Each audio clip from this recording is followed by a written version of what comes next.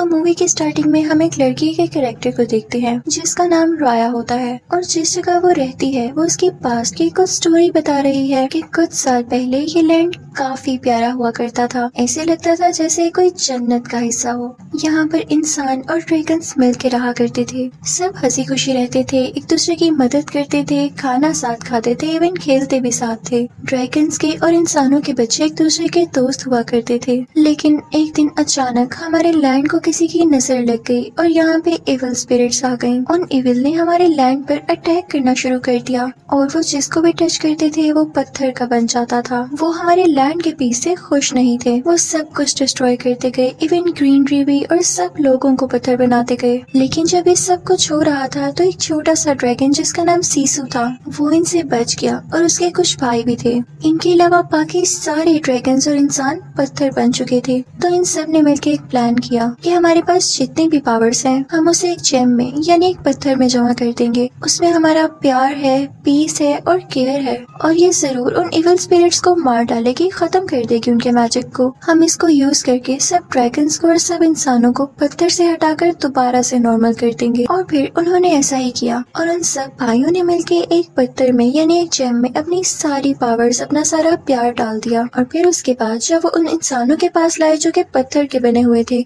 तो सरप्राइजिंगली वो इंसान भी ठीक होने लगे। लेकिन यहाँ पर दुख की बात ये थी कि उस पत्थर का, उन ड्रैगन्स पर कोई असर नहीं हो रहा था।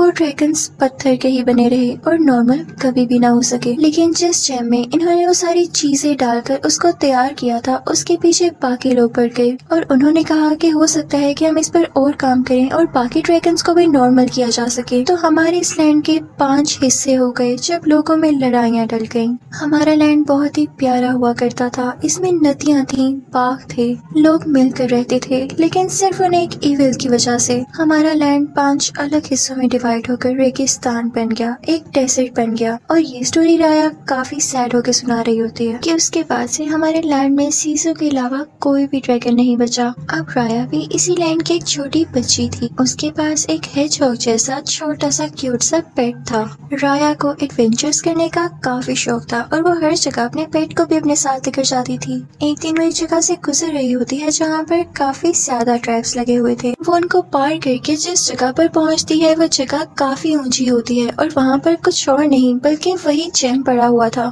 जो कि सीसू और उसके साथियों ने वहाँ पर रखा था और उसके पीछे काफ़ी ज़्यादा लोग थे। वहाँ पर वो देखती है कि कोई आदमी उसकी हिफाजत कर रहा होता है, उसको गार्ड कर रहा होता है।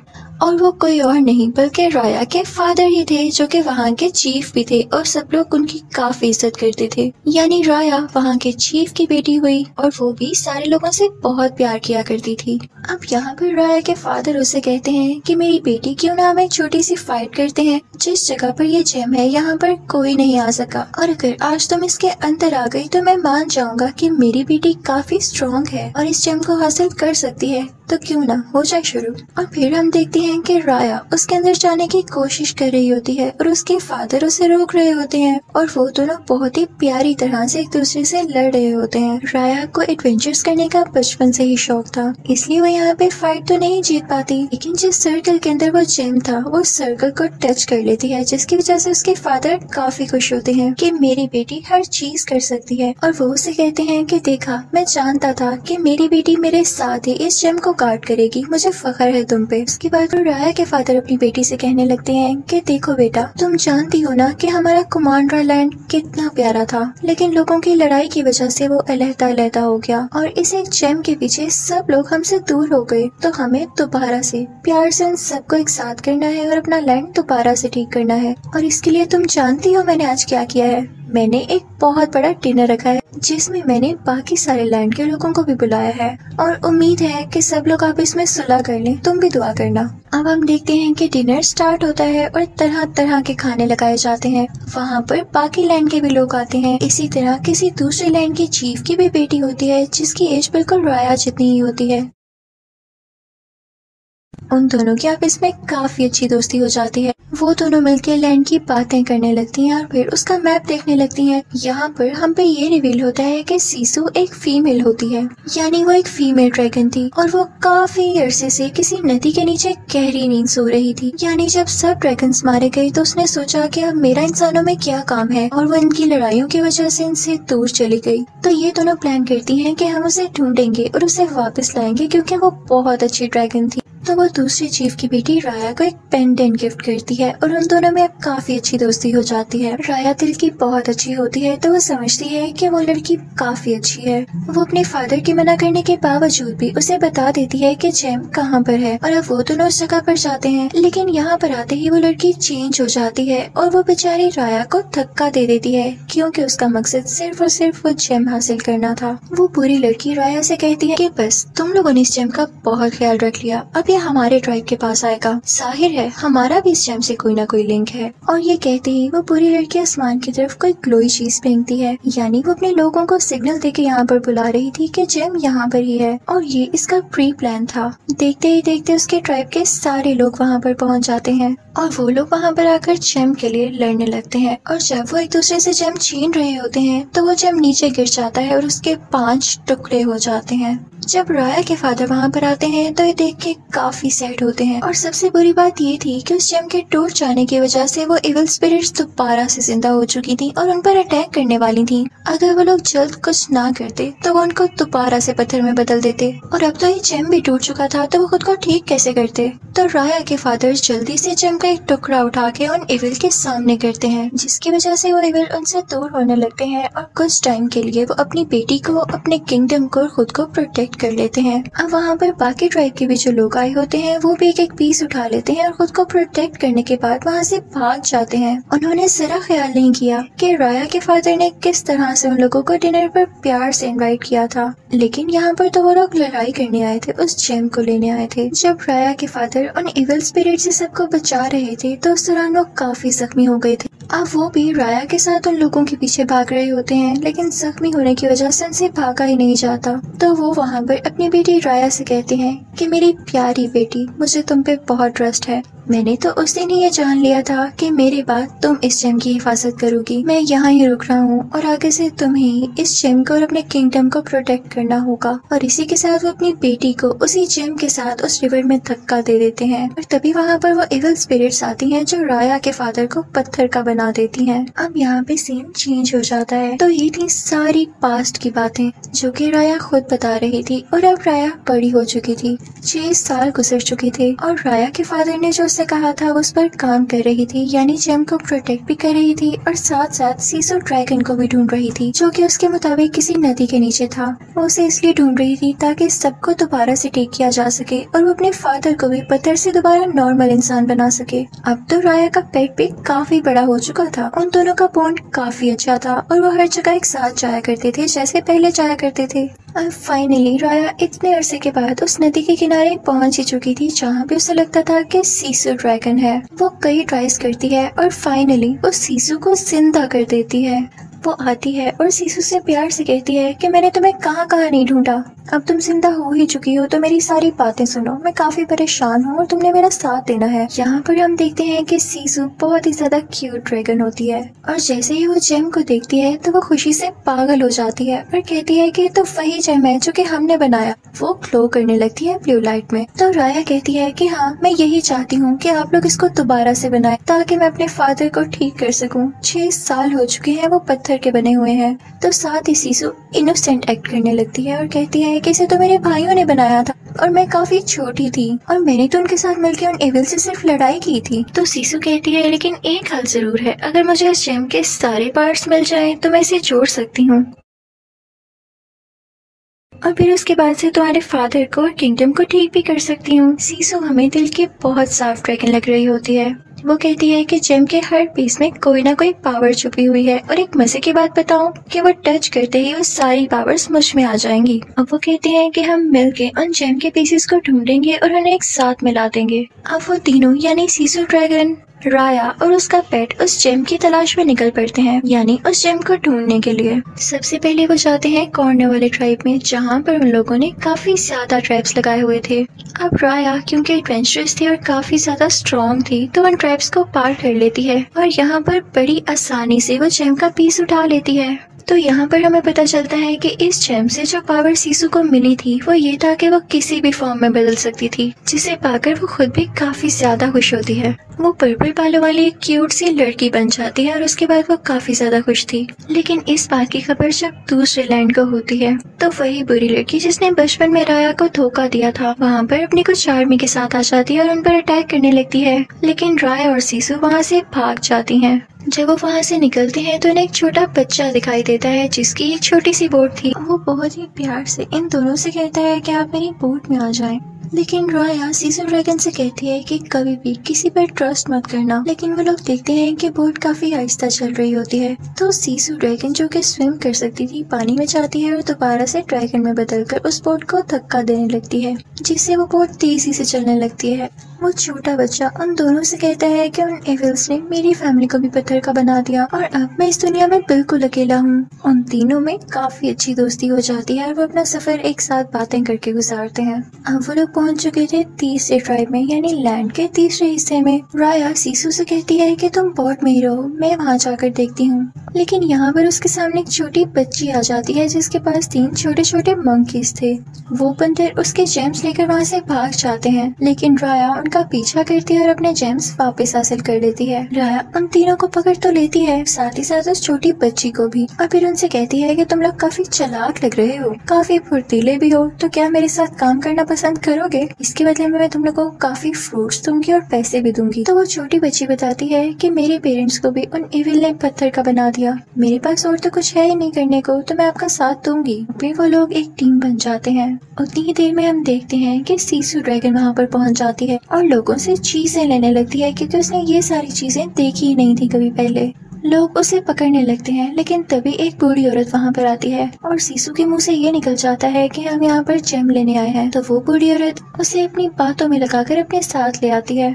यहाँ पर हम देखते हैं कि जेम का एक पीस इस बूढ़ी औरत के पास भी होता है। वो सीसू से कहती है कि मुझे जेम लौटा दो, वरना मैं उन इवल स्पिरिट्स को यहाँ पर बुला लूँगी और वो तुम्हारी जान ले लेंगे। लेकिन उसी वक्त वहाँ पर राय आ जाती है। वो सीसू को बचाती है और उस बूढ़ी औरत से वो जेम ले लेती है। फिर हम देखते हैं कि वो लोग किसी और ट्राइब में जाते हैं, पत्थर का चौथा हिस्सा लेने के लिए। लेकिन वहाँ पर जाते ही उन्हें एक आदमी पकड़ लेता है जो कि वहाँ का सबसे अच्छा वॉरियर था। और तभी वहाँ पर वो बुरी लड़की भी पहुँच जाती है। है। जिसने राया को बचपन में पेंडेंट दिया था और जो धोखेबाज थी वो उन पर अपने सोल्जर्स के साथ फिर से अटैक करने लगती है। लेकिन अब की बार राया भी उससे बराबर लड़ रही होती है। लेकिन जब सीसू ये देखती है तो वो फ़ौरन से ड्रैगन में बदल जाती है और अपने मुँह से स्मोक निकालने लगती है जिसकी वजह से राया की जान बच जाती है। लेकिन अब सबको पता चल चुका था कि सीसू एक ड्रैगन है। जब फौरियर ये देखता है कि तो वही अच्छा ड्रैगन है जिसने कभी आज तक किसी का कुछ नहीं बिगाड़ा तो, तो वो उससे इम्प्रेस होके उसे वो चौथा पीस भी दे देता है जम का। और उसे कहता है कि मुझे तुम पे ट्रस्ट है कि तुम सब कुछ ठीक कर दोगी। और अब वो लोग वहाँ से निकल जाते हैं। सीसू के पास ये पावर भी आ चुकी थी कि वो बारिश कर सकती थी। और अब जो आखिरी ट्राइब बच गया था, जहाँ से उन्होंने जेम का आखिरी टुकड़ा लेना था, वो किसी और का नहीं, बल्कि उसी बदतमीज लड़की का था, जिसने